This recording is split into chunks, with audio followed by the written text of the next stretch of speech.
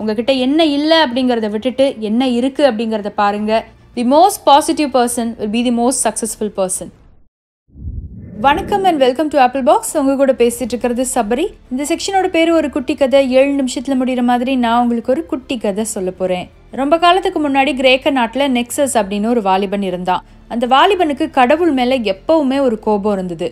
நீ என்னை அழகாக படைக்கல வலிமை உள்ளவனாக படைக்கல எனக்கு நிறைய திறமை கொடுக்கல. இந்த உலகத்தில் உள்ள மற்றவங்க எல்லாருக்குமே நீ எல்லாம் கொடுத்துருக்குற. எனக்கு மட்டும் எதுவுமே கொடுக்கல அப்படின்னு சொல்லி எப்போவுமே கடவுள் மேலே ஒரு வெறுப்போடையே தான் இருப்பான். இப்படி இருக்கும்போது ஒரு நாள் அவன் நல்லா தூங்கிட்டு இருக்கும்போது யாரோ ஒருத்தர் அவனோட பக்கத்தில் வந்து நின்ன மாதிரி இருந்தது. எழும்பி பார்த்தா முன்னாடி நிற்கிறது அத்தீனா அப்படிங்கிற ஒரு கடவுள். இந்த அத்தீனா அப்படிங்கிறவ ஒரு பெண் தேவதை இவ தான் அறிவுக்கான வீரத்துக்கான திறமைக்கான ஒரு தேவதை. சும்மாவே கடவுள்னா வெறுப்பை காட்டுற நெக்ஸஸ்க்கு இந்த அத்தீனாவை பார்த்த உடனே கோபமே வந்துருச்சு.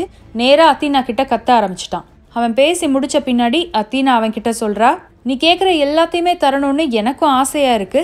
ஆனால் அதற்கான உரிமை என்கிட்ட இல்லை. அதனால நான் உனக்கு ஒரு வழி சொல்லித்தரேன் நான் உன்னை ஒரு தோட்டத்துடைய வாசல்ல கொண்டு போய் விடுவேன். அந்த வாசல்ல இருந்து கொஞ்சம் தூரம் நீ நடந்து போயிட்டே இருந்த அப்படின்னு சொன்னா ஒரு பெரிய தங்க ஆப்பிள் மரம் வரும். அந்த ஆப்பிள் மரத்துல ஏழு ஆப்பிள்கள் இருக்கும். நீ அந்த ஏழு ஆப்பிளையும் பறிச்சுட்டு வந்துட்டேன்னு சொன்னா நீ கேட்குற அறிவு திறமை வீரம் போர் தந்திரங்கள் எல்லாமே உன் கூடவே இருக்கும்.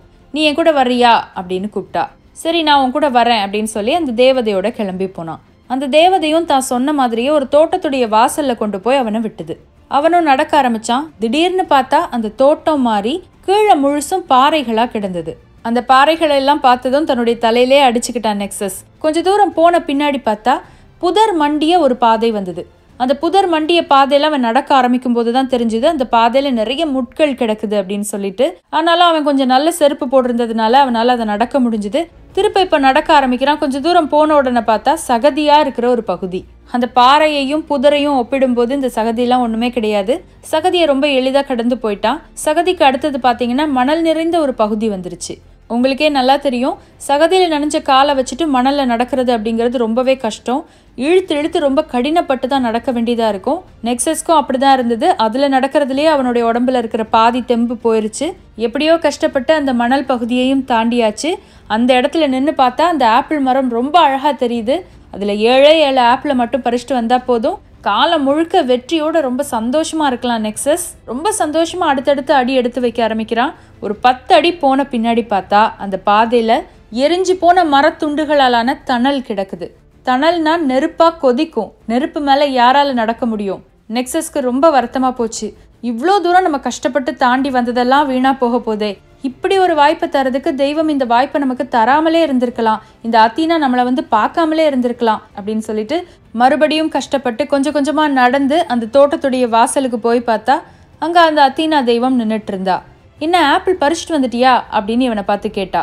ஆமாம் ஆமாம் நீ ரொம்ப சாதாரணமான பாதையை எனக்கு கொடுத்துருக்குற பாரு அந்த பாதையில் போய் ஆப்பிள் பறிச்சுட்டு வர்றதுக்கு.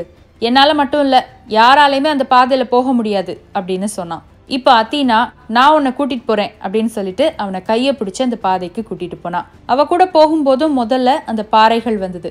ரெண்டு பேரும் ரொம்ப கஷ்டப்பட்டு அந்த பாறை மேல நடந்து போனாங்க. அடுத்ததா ஒரு முட்பாதை வந்தது. ஆனால் அத்தீனா நெக்ஸஸ் நடந்த மாதிரி அந்த முள் மேலே நடக்கலை. தான் இதுவரைக்கும் கடந்து வந்த அந்த பாறைகளை எடுத்து இந்த முள்ளின் மீது போட்டு அந்த பாறையின் மீது தனது காலை வைத்து அந்த இடத்தை கடந்து போனா. நெக்ஸஸுடைய மனசில் இப்போ நமக்கு ஏன் இது தோணாம போச்சு? அப்படிங்கிற சிந்தனை வந்தது. இப்போ அடுத்ததா அத்தீனாவும் அந்த சகதியில் தான் நடந்து போனா அதே மணலில் தான் நடந்து போனா கடைசியாக அந்த நெருப்பு தணல் கொண்ட பாதை வந்ததும் தான் இதுவரைக்கும் கடந்து வந்த அந்த மணலை கையை வச்சு கொஞ்சம் கொஞ்சமாக எடுத்து அந்த நெருப்பு பாதை மேலே போட அந்த நெருப்பு பாதை அணைந்தது. அந்த பாதையை ரொம்ப எளிதாக அத்தீனா கடந்து போனா. அந்த மரத்துல இருந்த ஒரே ஒரு ஆப்பிள் பழத்தை மட்டும் பறிச்சு அவன் கையில கொடுத்துட்டு சொன்னா உன்னுடைய வாழ்க்கையில ஏன் முன்னேற்றம் இல்லைன்னு தெரியுமா? நீ எந்த ஒரு காரியத்திலையும் இருக்கிற நிறைவை பார்க்காம அதில் இருக்கிற குறைய மட்டுமே பார்த்துட்டு இருந்த. உன்கிட்ட எது இல்லைன்னு பார்த்தையே ஒழிய உன்கிட்ட எது இருக்குன்னு நீ பார்க்கவே இல்லை. நம்ம இந்த பாதையை கடந்து வந்தப்போ அந்த முள்ளை பார்த்து நீ எரிச்சல் பட்ட. பின்னாடி கிடந்த பாறையை எடுத்து முள் மேலே போட்டு நடக்கலான்னு உனக்கு தோணவே இல்லை. நீ இந்த நெருப்பை பார்த்து எரிச்சல் பட்ட நெருப்பை பார்த்து பயந்த. அதனால தான் நம்ம நடந்து வந்த மணலையே எடுத்து அதில் போடலான்னு உனக்கு தோணலை. வாழ்க்கையில் எரிச்சல் பட்டுட்டு இருக்கும்போது குறை சொல்லிட்டு இருக்கும்போது பழிய தூக்கி யார் மேலேயாவது போடும்போது நம்முடைய வாழ்க்கையில் முன்னேற்றம் இருக்காது. என்னைக்கு நீ செய்கிற காரியம் சின்ன காரியமாக இருந்தால் கூட அதில் பல கடினங்கள் வந்தால் கூட மன மகிழ்ச்சியோடு அதை நீ பண்ணுறியோ அன்னைக்கு தான் உன்னுடைய வாழ்க்கையில் முன்னேற்றம் பிறக்கும். அப்படின்னு சொல்லிட்டு அந்த இடத்துல இருந்து மறைஞ்சு போனா அத்தீனா.